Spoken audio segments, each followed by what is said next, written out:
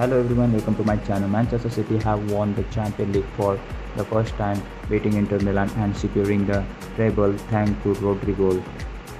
It was the one trophy that has endured the Premier League side ever since their takeover by Sheikh Mansour back in 2008 with only one previous final. Mansour must have known that something special was going to happen in Istanbul on Saturday as he attended only his second ever competitive city game.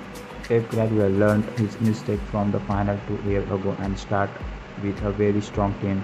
Although Walker did miss out, but he only started three times in the competition during the campaign.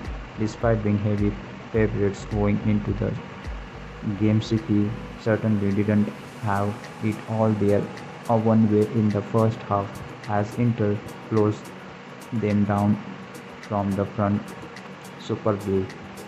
It was Guardiola's side who was dealt the first blow of the game as Kevin De Bruyne found himself coming off injured after the 36 minute. Neither side could break the deadlock before half-time and with the tactical intrigue in it was far from a classic opening 45 minutes just before the hour mark the city manager was left on all fours begging for a reprise from his team after a huge mistake from Akanji.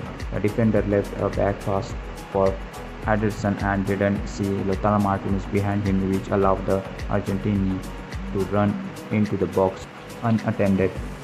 He could have crossed into the box for Lukaku but chose to go for goal with defender covering. Fortunately for the English champion, Ederson was off his line quickly to stop the effort. They was made to pay less than 10 minutes later when Rodri made a mocker of history having been left on the bench in the final two years ago.